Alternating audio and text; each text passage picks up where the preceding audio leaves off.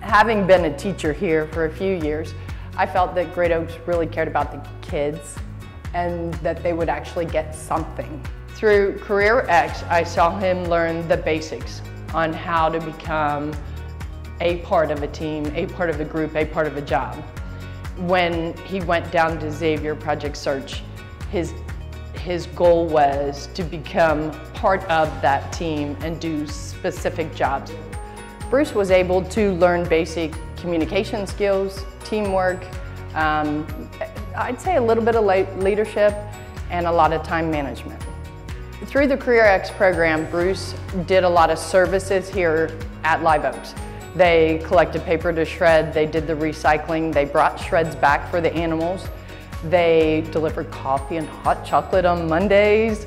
Um, they were always servicing, and when they weren't doing it here, they went outside and did different backpack programs. They worked at Goshen Elementary in the cafeteria, which he loved because he felt like he was actually doing. Um, I believe Bruce saw and we saw Project Search as his next step to learn adult skills. He was going to have to learn transportation, which means using the Cincinnati Metro. He was going to have to learn to work with people in the real world, and he acquired great skills. Project Search um, gives a parent a chance to realize their, their young adult can be a very productive person. Um, Project Search gives them the drive, the goals, the, um, they want to please the instructor. It's still school a little bit, but they want to be able to say, hey, I completed. Initially, the biggest fear was that he would be labeled as not going anywhere. So, and that is by far, so far from reality with this program.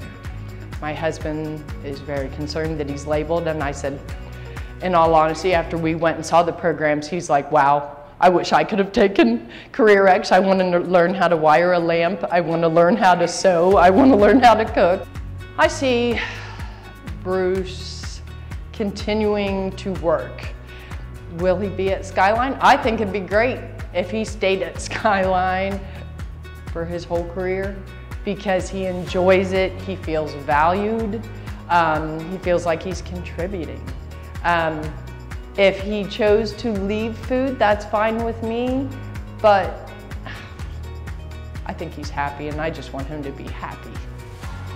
These two years with Great Oaks, Career X, and Project Search, he made connections, he learned skills. He didn't just go in and take a test, he worked, he learned, he became a team member.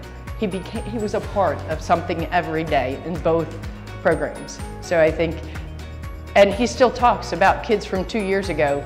And a special needs son maybe doesn't always talk about kids, but he still talks about the young adults he met here.